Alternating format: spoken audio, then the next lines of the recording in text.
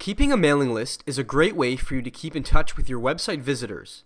It can also be a really good avenue for you to promote your products or services to people who might be genuinely interested in what you have to offer.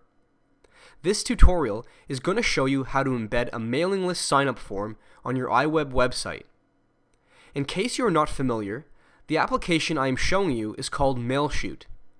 MailShoot is a mailing list manager that will allow you to easily embed your sign-up form on your website. You can then manage all of the email addresses on the list and send them emails whenever you desire. You can learn more about MailShoot and how to use it at ragesw.com. I want to make a quick note that when using this application, don't forget to save your work. As I demonstrate embedding the form, you will see how I save my work in a couple of locations.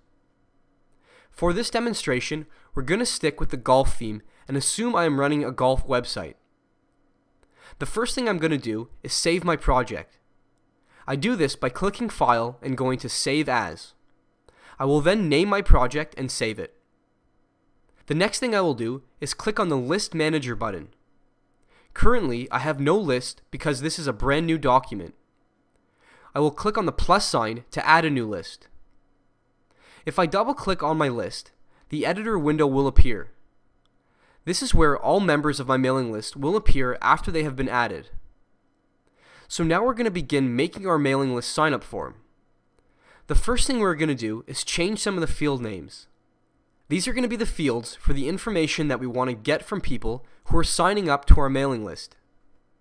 So here I will input just a few examples of the information I might want to collect from potential customers.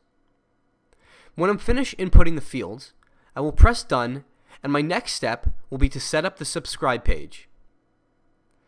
In this first step, I'll need to give my list a name. I'm going to call it Jeremy's Golf Shop. The list short name will be what is used in your sign up form's URL. Two or three words in this name should work fine, so I'll stick with Jeremy's Golf Shop. Next, I'll enter a password for my list, followed by a list description. In the owner's details section, I will need to fill out all of these fields. The owner email is especially important as this is the email address that users will see when they sign up to the mailing list, as well as the email address where you will be notified of a sign up. The welcome message can be customized to your liking or you can leave it as is. In the custom fields section, you will need to tick off whatever custom fields you want included on your sign up form. I will tick off the ones I customized earlier in the tutorial. You can choose from four different types of fields you want to use. You can also input a default value for each field, as well as indicate if you want the field to be a required field or not. In the link section, here is where we will get our code for embedding the form on our iWeb website. I'll simply press the Publish button, and the embed code will appear. You will also notice that two links appear.